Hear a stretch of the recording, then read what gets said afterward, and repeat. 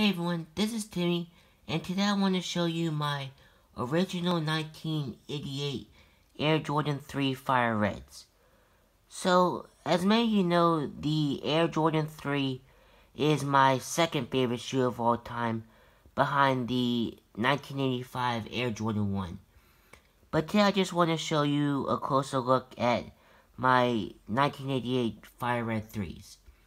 So, one thing to note about the 1988 originals is that the elephant print is a lot thinner and a lot lower on the originals than on the retros. You see how thin that elephant print is and how low it is? Um, and of course you have the very thin padding so the padding on the originals is very thin compared to the retros which have a lot of padding. And overall, the leather on these Fire Reds is still really soft, really good condition. Now, you see the Jumpman on the tongue.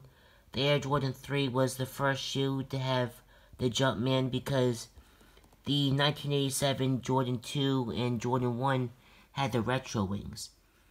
And here's another here's a look at the back tabs. So the back tabs are yellowing and are cracking, but are still pretty much intact.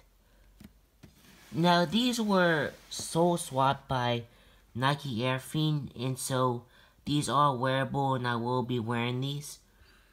And here's something to take a look at, of course, with the inside tag. It says 1988 size 8.5, made in Taiwan. And so, like I said, I will be wearing these. Um, and I do have another pair of 1988 Fire Red 3s.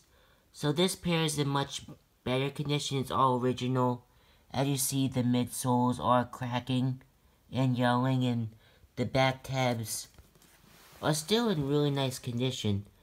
But I will be keeping these just for display purposes, and I will be wearing these sole swapped 1988 Fire Red 3s.